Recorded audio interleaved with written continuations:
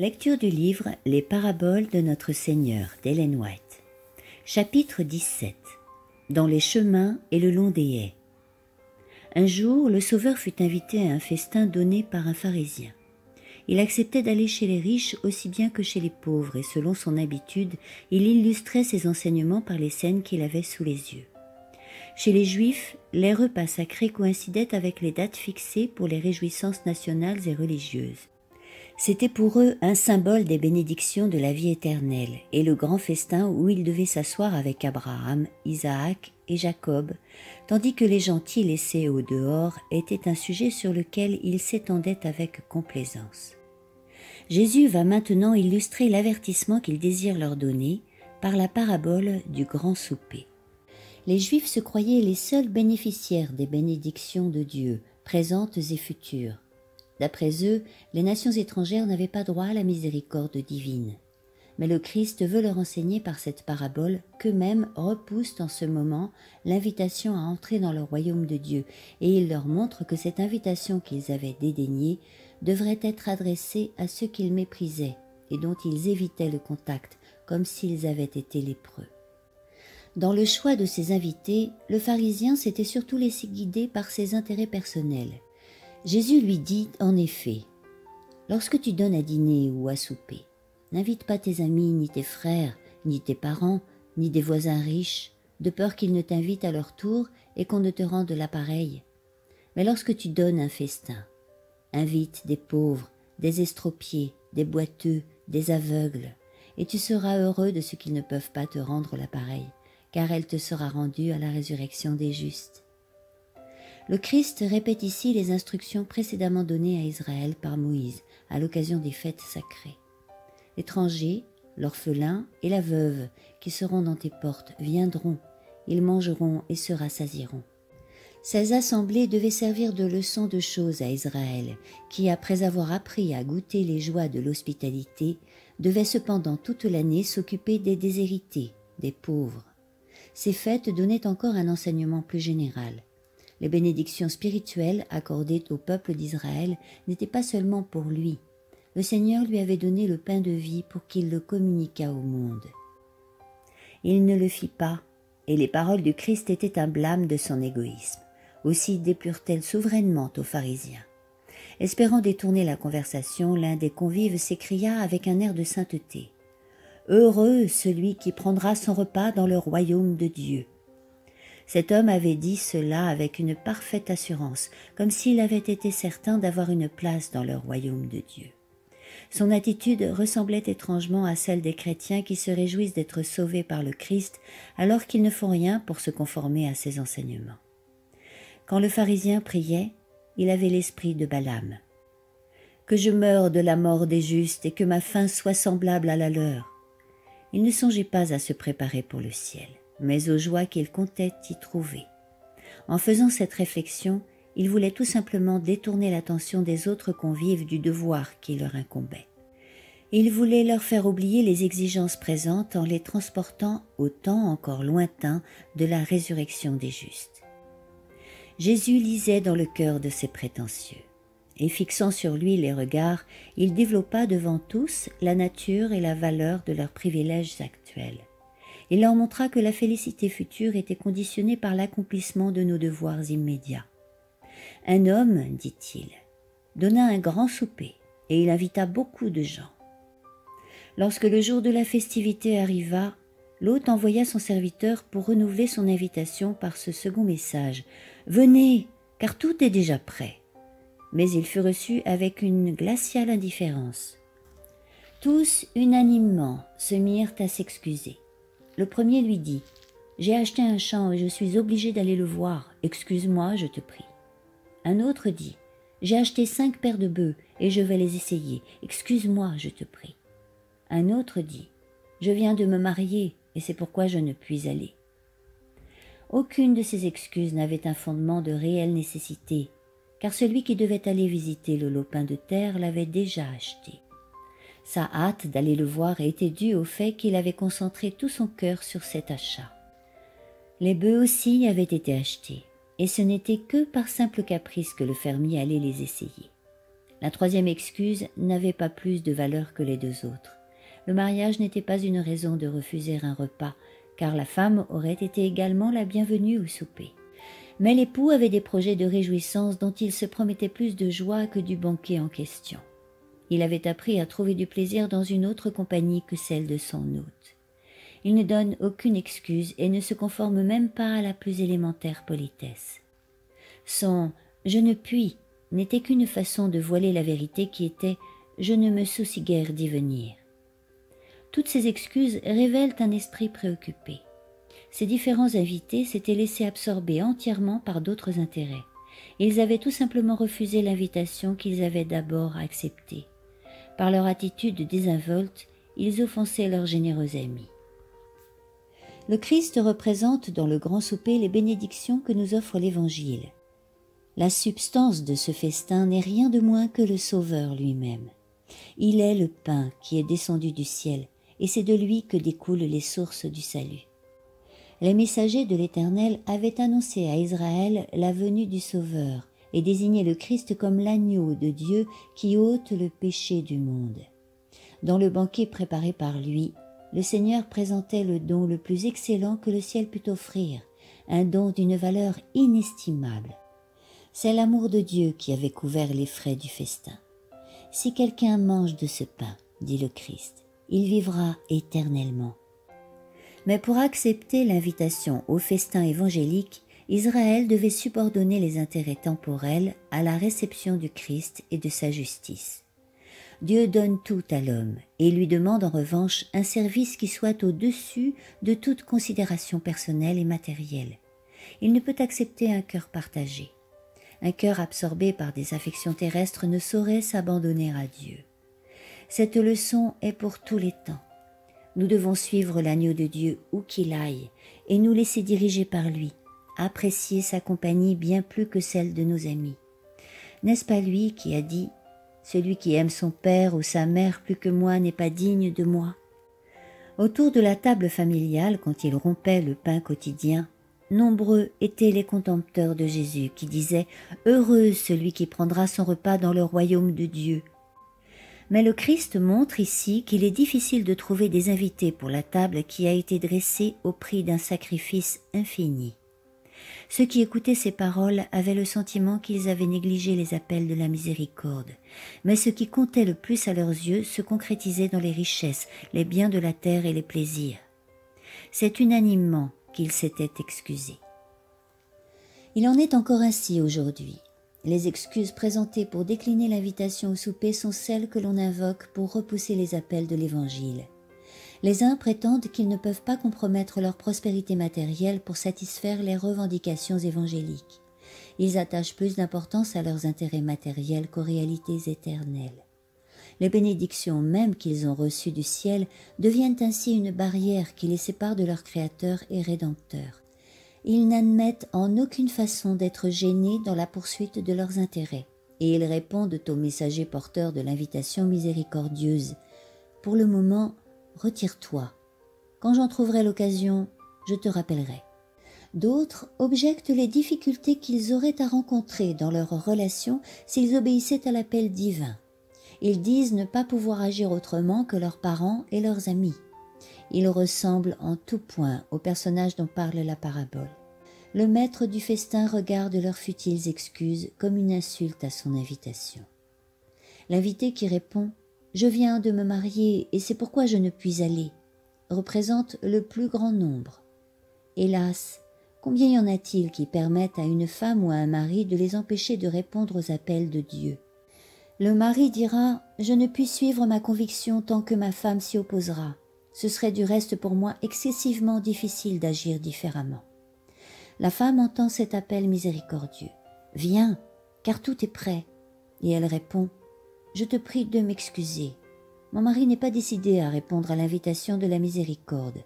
Il dit que ses affaires ne lui permettent pas de le faire. Je dois le suivre, je ne puis donc pas aller. Le cœur des enfants est impressionné, et ils désirent se rendre au festin, mais comme ils aiment leurs parents et que ceux-ci repoussent les appels de l'Évangile, ils ne s'y rendent pas. Ils pensent qu'on ne peut s'attendre à ce qu'ils s'y rendent seuls. Eux aussi disent Excuse-moi.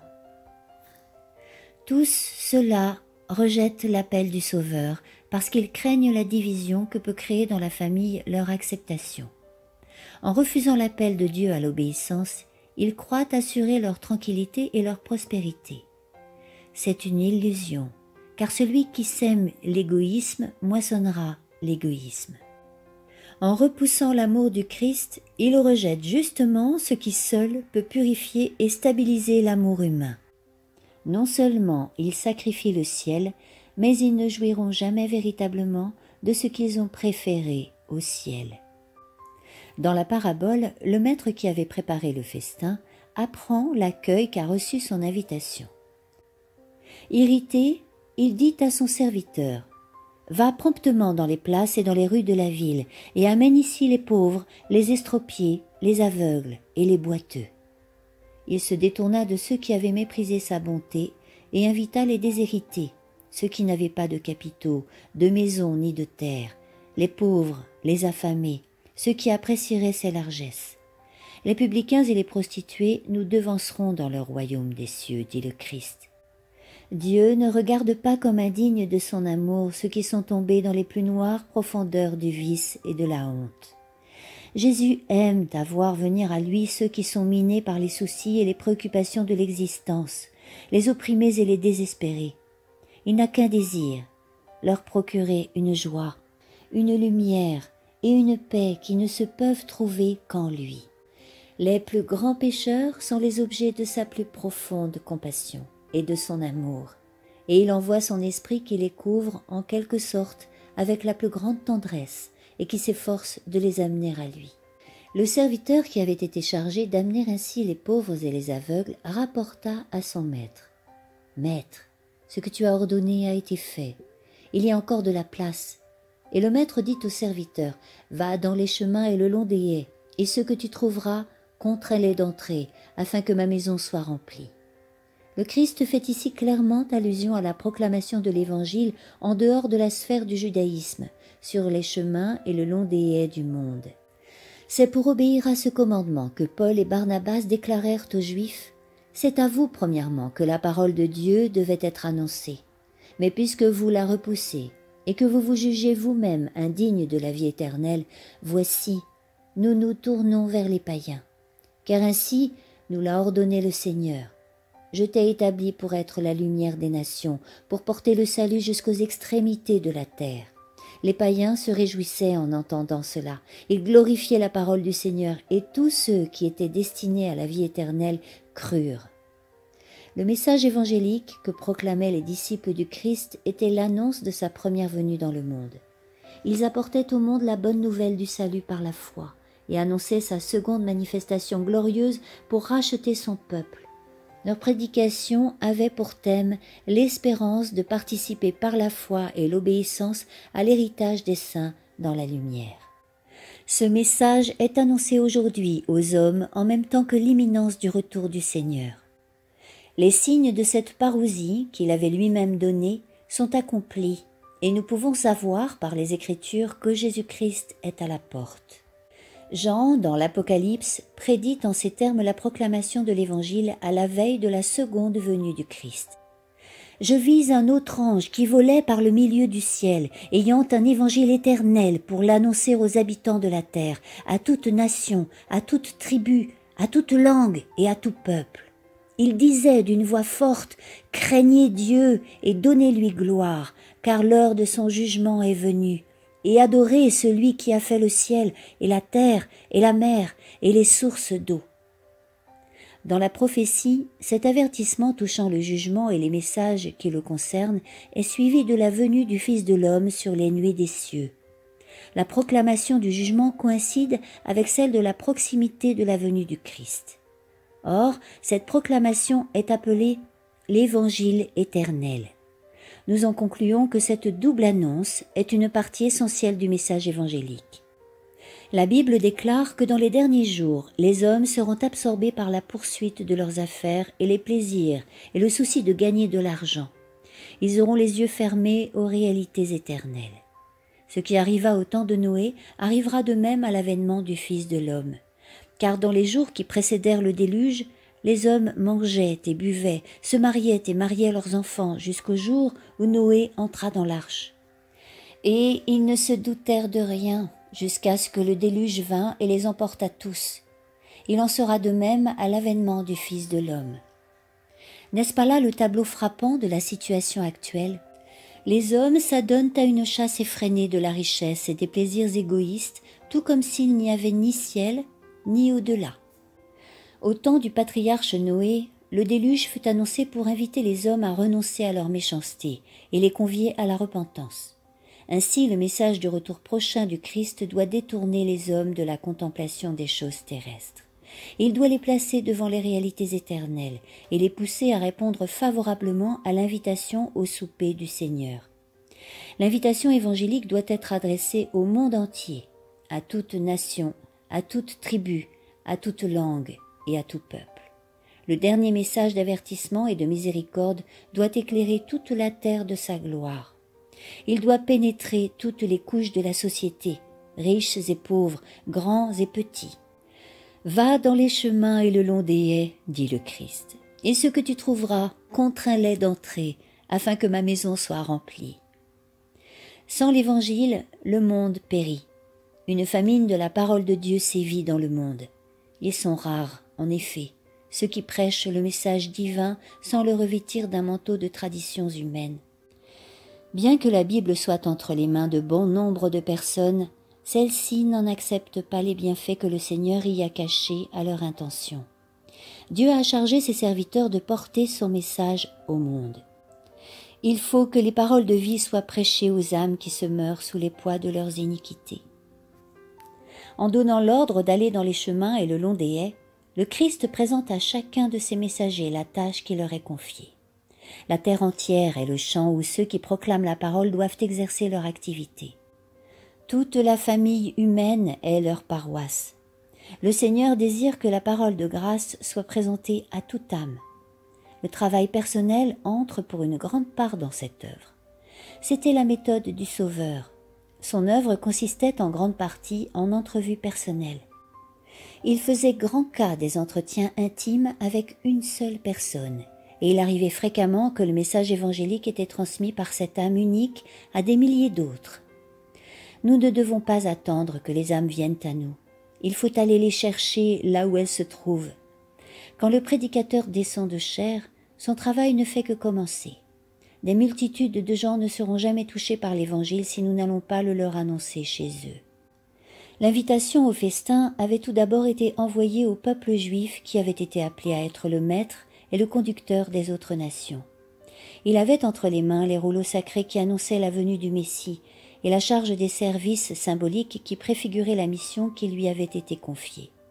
Si les prêtres et le peuple avaient répondu à l'invitation, ils se seraient unis au messager du Christ pour le transmettre au reste du monde. La vérité leur avait été envoyée pour qu'ils la délivrassent à d'autres. Ayant refusé de le faire, elle fut communiquée aux pauvres, aux infirmes, aux boiteux et aux aveugles. Les publicains et les gens de mauvaise vie acceptèrent l'invitation. Lorsque celle-ci est adressée aux païens, la même tactique est suivie. Le message est tout d'abord proclamé dans les places et dans les rues, c'est-à-dire à ceux qui jouent un rôle prédominant dans le monde, aux maîtres et aux chefs du peuple. Les messagers du Seigneur devront toujours se le rappeler. Le message doit être présenté aux bergers des troupeaux, aux maîtres divinement accrédités, comme une parole qu'ils doivent prendre en considération. Ceux qui appartiennent au plus haut rang de l'échelle sociale doivent être invités avec une affection et des égards fraternels. Des hommes lancés dans les affaires et qui occupent des postes de confiance, des hommes de science et de génie, des prédicateurs de l'Évangile dont l'esprit n'a pas encore été attiré sur les vérités particulières pour notre époque. Voilà les premiers qui doivent entendre l'invitation. Nous devons accomplir une œuvre auprès des riches, puisqu'ils sont les dépositaires des biens que le ciel leur a confiés. En eux doit être éveillé le sentiment que leur fortune leur confère une responsabilité. Il faut leur rappeler qu'ils auront à en rendre compte un jour devant le Dieu qui jugera les vivants et les morts. Les riches ont besoin que vous travailliez pour leur âme dans l'amour et la crainte du Seigneur. Ils se fient la plupart du temps à leur bien, ne redoutant aucune éventualité pénible. leurs regards doivent être attirés vers les richesses impérissables, et il faut qu'ils apprennent à reconnaître l'autorité de la volonté véritable qui dit Venez à moi, vous tous qui êtes fatigués et chargés, et je vous donnerai du repos. Prenez mon joug sur vous, et recevez mes instructions, car je suis doux et humble de cœur, et vous trouverez du repos pour vos âmes, car mon joug est doux, et mon fardeau léger. On s'adresse rarement à ceux qui occupent de hautes positions sociales, qui sont réputés pour leur éducation, leur fortune ou leur vocation. Beaucoup de prédicateurs de l'Évangile hésitent à s'approcher des personnes de cette catégorie. Mais il ne devrait pas en être ainsi. Quand un homme tombe à l'eau, nous ne voudrions pas qu'il se noie, fût-il magistrat, marchand ou avocat. Nous n'hésitons pas dans ce cas à lui porter secours aussitôt, quel que soit son rang dans la société. Ainsi donc, nous ne devons pas hésiter à avertir les hommes des périls qui guettent leur âme. Nul ne doit être négligé parce que, apparemment, il est absorbé par les choses de la terre. Nombreux sont les grands de ce monde dont le cœur est meurtri et qui sont là des vanités du monde. Ils aspirent après une paix qu'ils n'ont pas. Ils ont faim et soif de salut.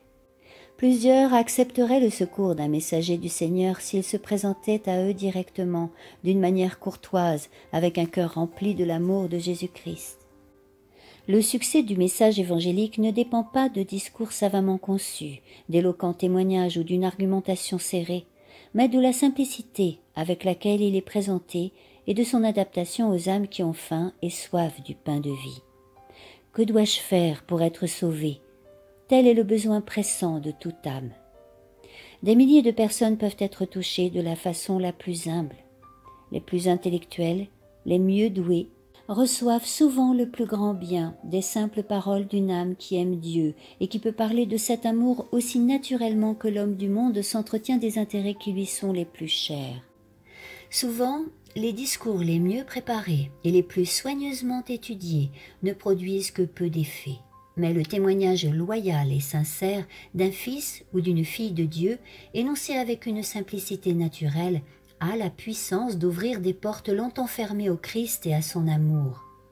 Que celui qui fait l'œuvre du Seigneur se rappelle qu'il ne doit pas compter sur sa propre force, qu'il ait recours à Dieu avec une foi implicite en sa puissance pour assurer le salut, qu'il combatte avec lui dans la prière et qu'il fasse usage de tous les moyens que le Seigneur met à sa disposition le Saint-Esprit donnera de l'efficacité à ses travaux, et les anges du ciel seront à ses côtés pour impressionner les cœurs. Si les principaux de Jérusalem et les conducteurs de la pensée religieuse avaient répondu à l'appel de Jésus, cette ville serait devenue un foyer missionnaire par excellence. Israël, refroidi, se serait converti, et une armée se serait formée pour la cause de Dieu. Avec quelle rapidité l'Évangile n'aurait-il pas atteint les extrémités de la terre? Ainsi aujourd'hui, si des hommes influents et capables étaient gagnés à la cause du Christ, ils feraient une œuvre admirable en faveur des déshérités de la vie et des parias. Ils pourraient aller annoncer au près et au loin la bonne nouvelle du salut. Rapidement les invitations seraient répandues et les conviés ne tarderaient pas à se grouper autour de la table du Seigneur. Mais il ne faut pas penser seulement aux hommes influents et négliger les autres. Jésus recommande aussi à ses messagers d'aller dans les chemins et le long des haies, vers les pauvres et les humbles de la terre. Dans les cours et les mansardes de nos grandes cités, dans les chemins solitaires de la campagne, il y a des familles et des individus, peut-être des gens qui n'appartiennent pas à notre pays, qui ne font partie d'aucune église et qui, dans leur isolement, en viennent à penser que Dieu les a oubliés. Ils ne savent que faire pour hériter du salut éternel. Beaucoup sont plongés dans le péché, en proie à la noire misère, oppressés par la souffrance, la nécessité, l'incrédulité, le découragement, la maladie physique et morale. Ils cherchent le baume souverain qui pensera leurs blessures. Satan les pousse à le trouver dans les convoitises et les plaisirs qui consomment leur échéance et leur mort éternelle. Il leur tend les pommes de Sodome qui se changent en amertume dès qu'ils les portent à leur bouche. Ils dépensent leur argent pour ce qui ne nourrit pas, et ils peinent pour ce qui ne rassasie pas. Jésus est venu sauver toutes ces âmes, victimes des souffrances les plus diverses. C'est à elles qu'il dit Vous tous qui avez soif, venez aux eaux, même celui qui n'a pas d'argent. Venez, achetez et mangez, venez, achetez du vin et du lait, sans argent, sans rien payer. Écoutez-moi donc, et vous mangerez ce qui est bon, et votre âme se délectera de mes succulents. Prêtez l'oreille, et venez à moi. Écoutez, et votre âme vivra. Suite et deuxième partie de ce chapitre intitulé Dans les chemins et le long des haies, dans le prochain audio.